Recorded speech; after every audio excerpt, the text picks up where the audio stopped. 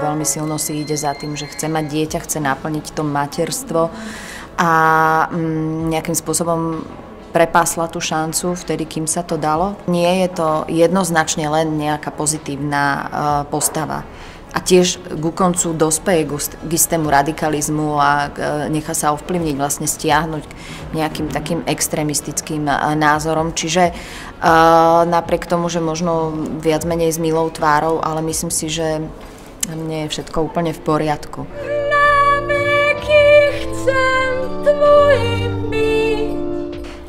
Moment toho, že vlastne tá žena nedokázala naplniť tomu svojmu mužovi to, že budú mať spoločné dieťa a nepodarilo sa to ani, ani vlastne nejakým spôsobom, keď si adoptovali, že vlastne stále všetky riešenia, po ktorých siahajú, sú tak akože nie celkom dobré alebo sú, um, no, ne, nevyšli z nejakého pokoja a kľudu, ale tiež si tým nejaké svoje ego a svoje predstavy o živote riešili plus to, že sa teda nakoniec musí vyrovnať s tým, že mm, jej manžel to naplnil s niekým, čomu ona sama odporúčila aj na začiatku hry, nájde si inú ženu, čo ti porodí dieťa.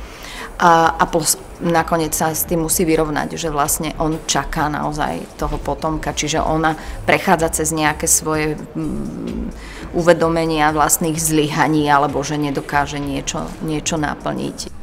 Podsadi si.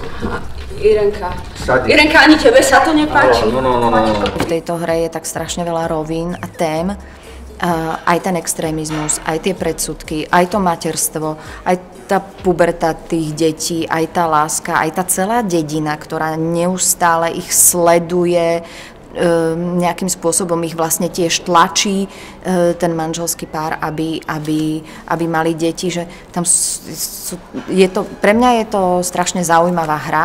Každým dňom je pre mňa zaujímavejšou, lebo tam vnímam iné nuancy, ktoré, ktoré tam sú a dúfam v to a verím v to, že, že ich tam budem nachádzať aj neskôr. Myslím si, že toto je predstavenie a rola pre mňa, ktorú nemám hotovú a nebudem mať nikdy hotovú a že ju budem každým predstavením na novo e, prežívať, lebo to tak cítim vnútorne nejako